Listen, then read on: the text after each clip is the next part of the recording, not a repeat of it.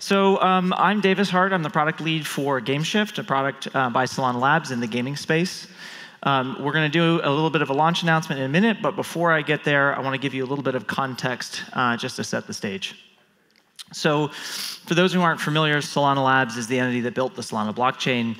And now we're really focused on investing in and building projects to help move the ecosystem forward.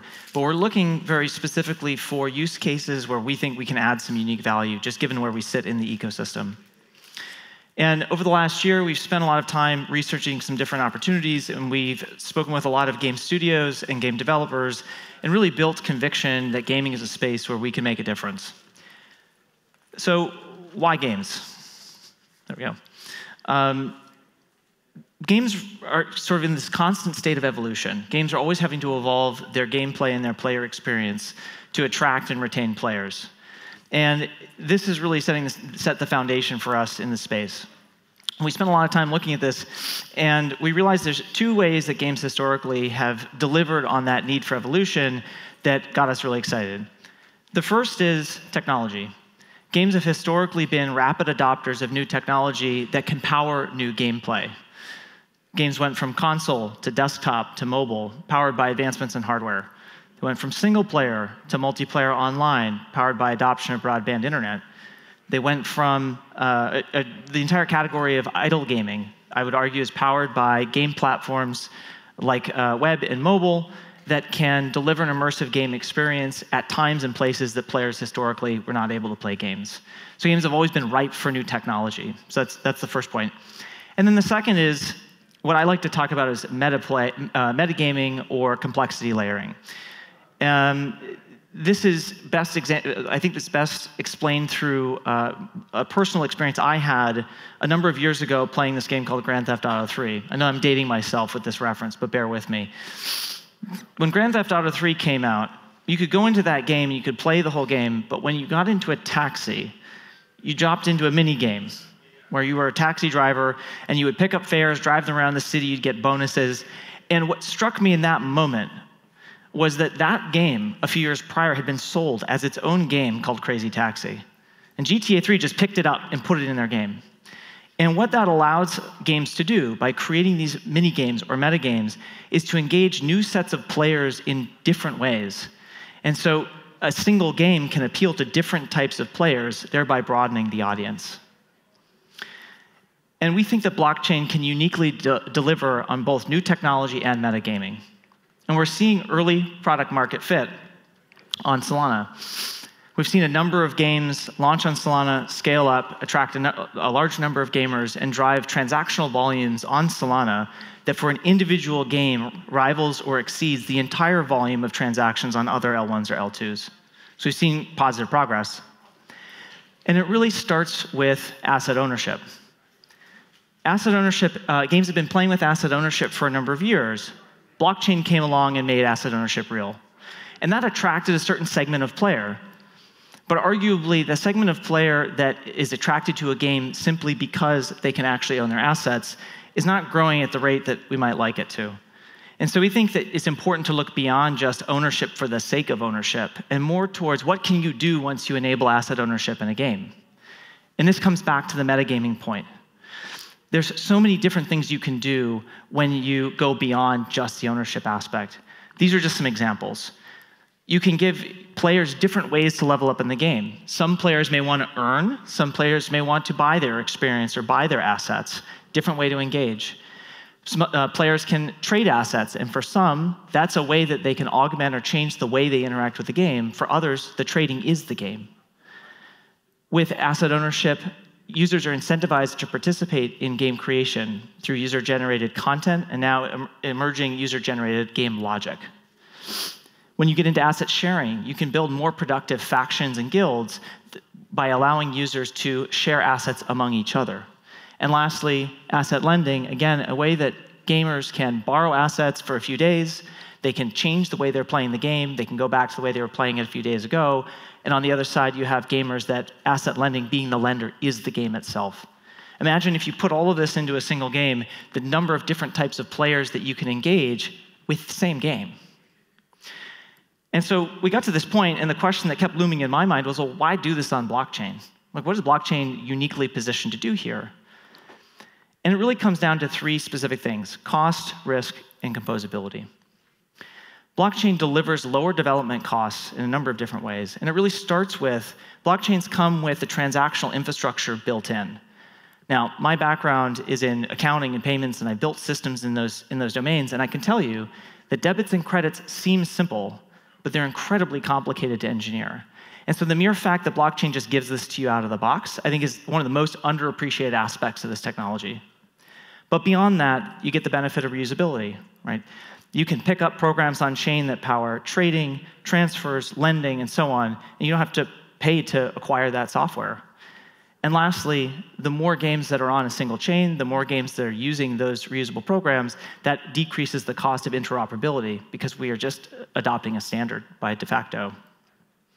When it comes to risk, as you're powering asset ownership in your game and those assets are becoming more valuable, you're bringing more regulatory risk around custody and more security risk around those assets. And by engaging with blockchain, you can offload some of those risks onto the chain itself through the proven security model and through user asset self custody. And lastly, with composability, not only can you pick up those programs for free on chain, but now you can assemble those together in different ways and sort of create this combinatorial uh, set of possibilities of how you can build the experience in the game and engage more players. So you get a sense of why we're excited about gaming. The conclusion we came to was that surprise, surprise, building games is already really hard. There are developers in the room, you know this. It's a multidisciplinary task to build a game. And asking a developer to now take on the blockchain components as well is just a bridge too far for a lot of developers that we spoke with. And what we found is this is true regardless of whether you're a Web 2 game studio or a Web 3 game studio. What we discovered is both types of studios building both types of games at this point largely are trying to achieve the same thing, which is build a better game with better features for players. And we're moving away from a world where we're building a blockchain game for blockchain players. That will continue to exist. But what we've seen in the trends that we've seen is that studios are sort of moving to the middle of just better features in the games. And what we found is studios have two problems, regardless of where you're coming from, Web 2, Web 3. The first is just development costs and having to have the, ex the expertise on staff. And then the second is the difficulty of building a very Web 2 friendly gameplay experience so that you can attract the broadest possible audience. And essentially do that without creating friction around blockchain that could turn some players away. To get a little bit more specific about that, let's imagine that you're building uh, the blockchain component into a game and you want to get yourself just to the point of, I'm, I'm able to sell users assets and they can trade with each other. What do you have to do? You need to figure out a wallet situation, right? And wallets uh, are already difficult in terms of how they present key management and transaction signing. Payments is very difficult. As a crypto company, it can be very hard to find payments relationships, and when you do, they tend to have higher decline rates and higher fraud rates. When it comes to the asset itself, the NFT, I think we can all agree that after the last 18 months, anything with the word token in it contains a bit of a stigma that can turn a lot of players off in some studios. And lastly, when it comes to trading, if you want to enable users to trade assets and you put them into a more traditional um, NFT trading platform on chain, it looks a little bit more like a Bloomberg terminal than a game. And that can, of course, create some friction for players. And of course, everything is listed in terms of SOL, which again, we have the, the token problem. You know, you might be looking at this and saying, hey, Davis, there are vendors that actually solve for these individual verticals. And we would actually agree. The challenge that we discovered speaking with studios is going and finding the vendors, knowing what questions to ask, doing the diligence, doing the contracting, getting them all to work together, and so on and so forth, was almost as difficult or more difficult than just going and building it themselves. And so what we discovered is there was a gap here. And so this is why we built GameShift. GameShift is a single Web2 friendly API that wraps all of the blockchain experiences that a game might want to bring in. We're covering the four verticals to start with asset management, asset ownership, fiat payments, and asset trading. We're doing this in a single, a single product, a single pane of glass. And what this allows is for developers to bring blockchain into their game without any blockchain programming experience. And it also allows them to develop a player experience that doesn't even reference blockchain at all. So you get a full Web 2 front and back.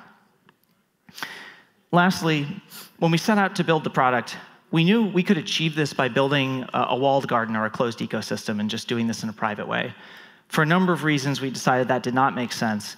And so we've retained in the product the ability for players to move assets out into the broader ecosystem. And where we've been able to, we've integrated on the back end with existing uh, protocols and dApps to make sure that this is as open of an ecosystem as possible.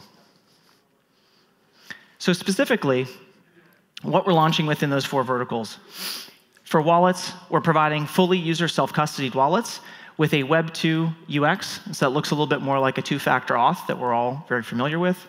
And again, retaining asset portability, so players can remove assets onto the chain if they want to. In the payments domain, we're supporting uh, credit card payments in 170 countries, 100% chargeback guarantee, and uh, with settlement in fiat to game studios that may not want to touch crypto tokens. In game asset management, we're supporting uh, asset minting on demand with compressed NFTs, and that includes fully decentralized storage.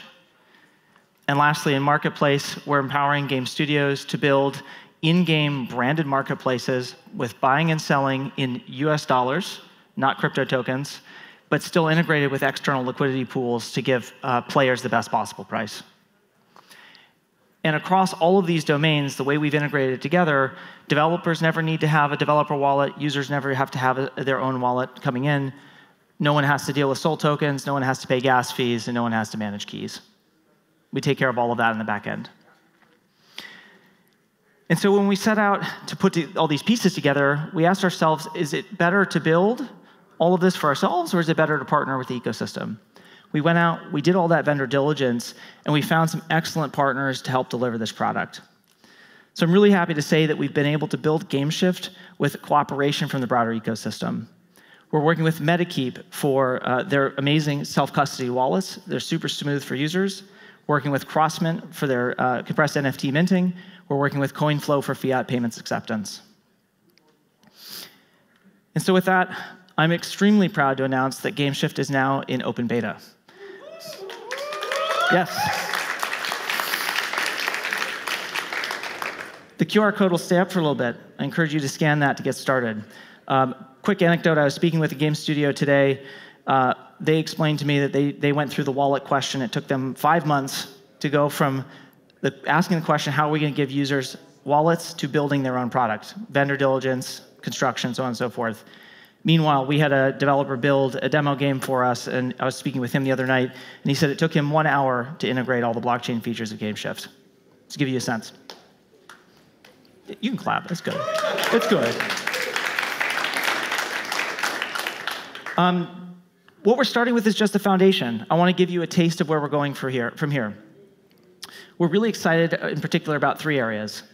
The first is more activities around assets lending, crafting, loot boxes, decomposition, all the things that you can allow players to do with the assets in the game. The second is gamer identity.